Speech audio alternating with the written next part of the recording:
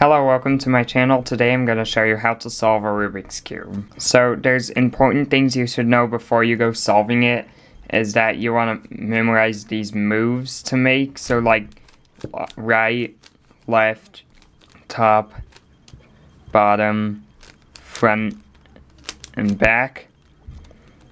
So like the right side is going to be R, left side is going to be L, and then U is the top, and then D is the bottom. D means down, U is up, L is left, R is right, and then F and B are front and back.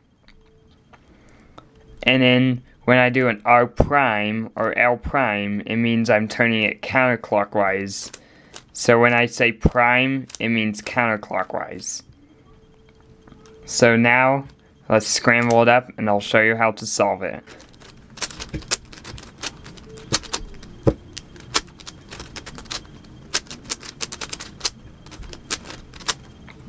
That looks pretty scrambled. Okay, so the first step is you want to make a white cross around the centerpiece right here.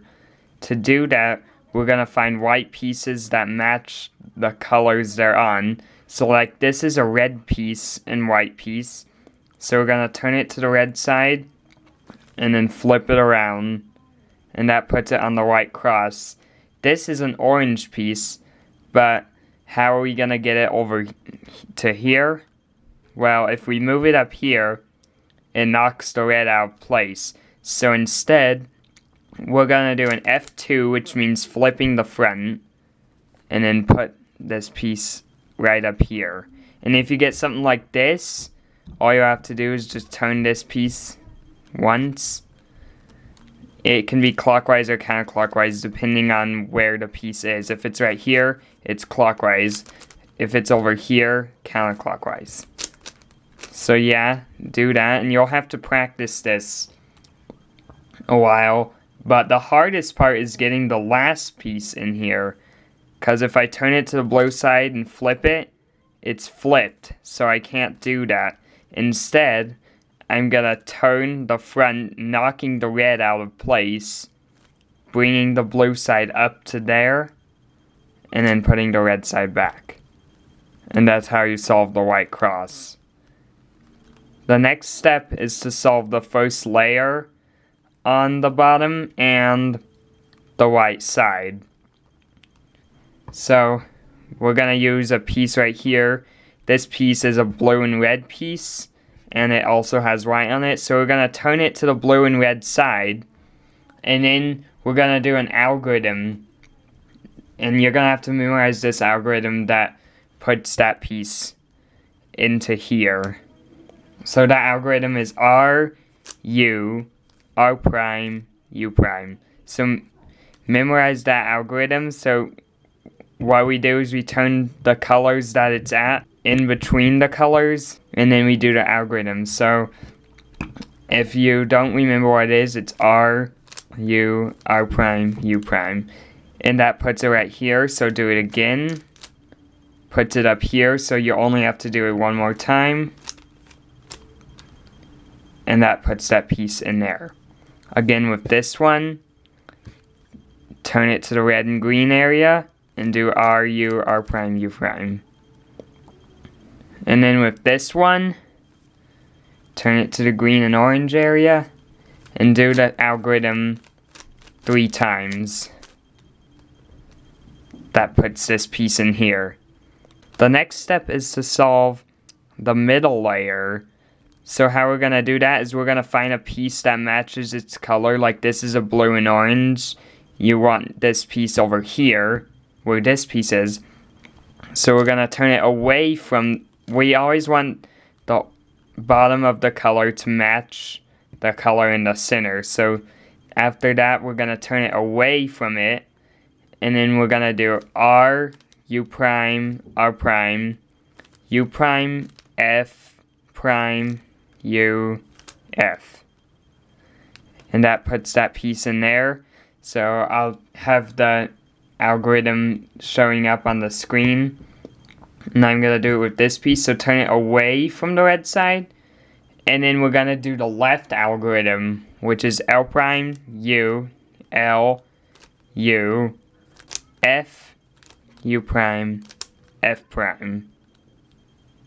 And that puts it, that piece in there. So, if this piece, if the piece it needs to go is on the right side, then you do the right algorithm. If it's on the left side, you do the left algorithm. So how we're going to put this piece in here, that will also take this piece out so we can put it in here. We're going to turn it away and then do the right algorithm. I'll repeat it one more time so you know. It's R, U, R prime, U prime, F prime, U, F.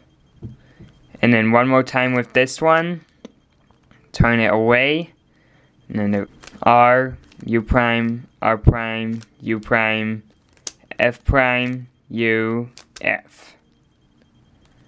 And that puts that piece in there, and now we've solved the middle layer. The next step is to solve the yellow cross around the yellow center, just like the white cross.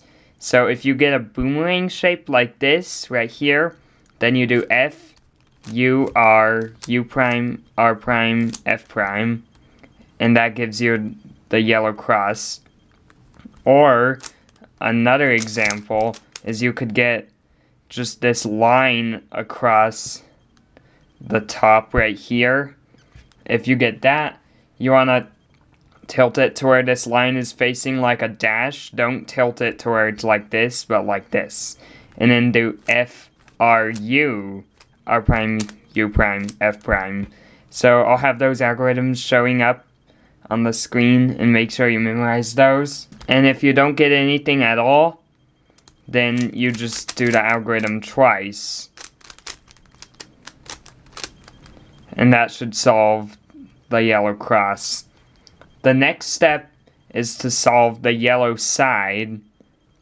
So we got the cross right here. Now if, if you get a fish shape right here, then you're going to want to do it from here where the head of the fish is pointing to the bottom left. And then you're going to do R, U, R prime, U, R, U2, R prime. So memorize that algorithm right there. And now it's over here. When you get this yellow piece right here, that means you're almost done solving the yellow side. So just do the algorithm one more time. R, U, R prime, U, R, U2, R prime. And then that solves the yellow side.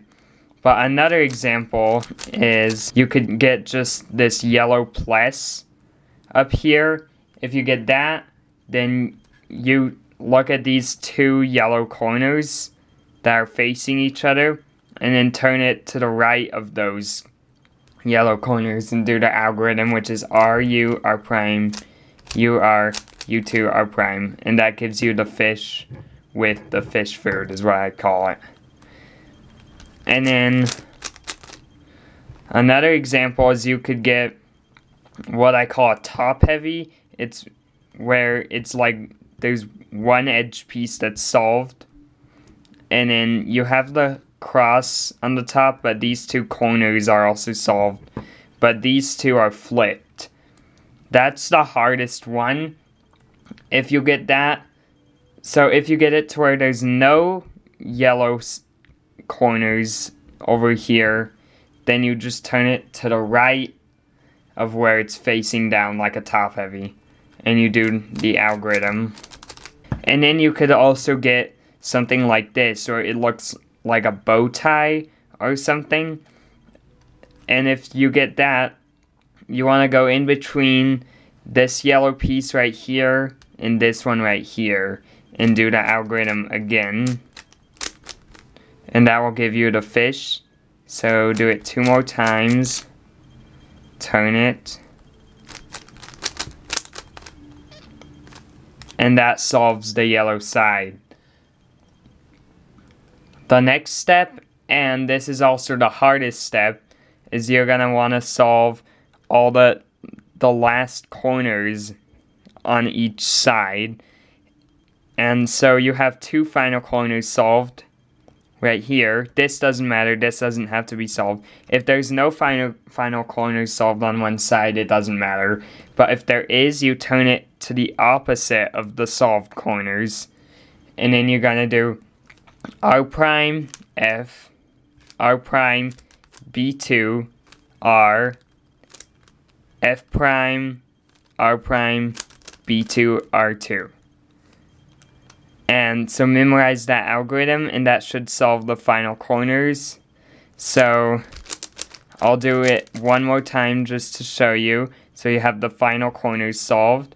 It doesn't have to be green. There doesn't have to be a solved piece right here. It just You just have to have the final corners solved. And you do R prime, F, R prime, B2, R, F prime, R prime, B2, R2. And that solves the final corners. So, if you get all the final corners solved, and then one side is solved, you turn it to the opposite side of the solved side. But if no side is solved, then it doesn't matter. But if there is one solved, you turn it to the opposite side. And then you're going to do the last algorithm right here to swap these pieces wherever they need to go. So like this piece needs to go here, this needs to go here, and then this needs to be switched. So to switch these two and put this piece right here, we're gonna do the last algorithm and be careful doing this because if you make a mistake you'll have to start all over on the cube. So watch carefully. It's gonna be R u prime r u r u r u prime r prime u prime r2. And that solves the Rubik's Cube.